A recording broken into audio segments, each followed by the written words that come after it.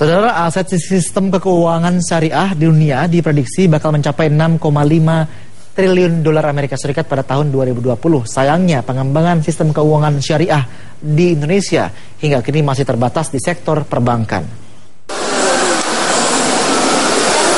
Para pelaku keuangan dunia mengakui perkembangan ekonomi syariah sangat potensial. Dalam pertemuan pelaku pasar keuangan di Jakarta beberapa waktu lalu terungkap, aset keuangan syariah tumbuh sangat pesat. Jika pada akhir tahun 90-an asetnya hanya 100 miliar dolar Amerika Serikat, kini telah menyentuh angka lebih dari 2 triliun dolar.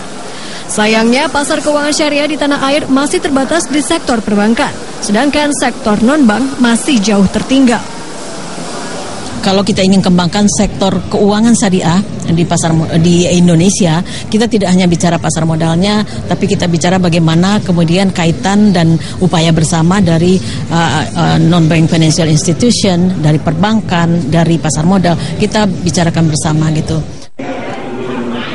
Dengan kebutuhan pembiayaan yang besar, Indonesia semestinya bisa memanfaatkan tren keuangan syariah ini.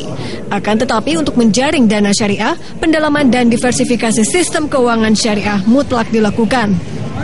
Pasar keuangan syariah seperti bursa saham syariah, reksadana syariah, dan suku juga perlu dikembangkan untuk menjaring dana syariah. Yuni Astutik, Junaidi, Kompas TV, Jakarta.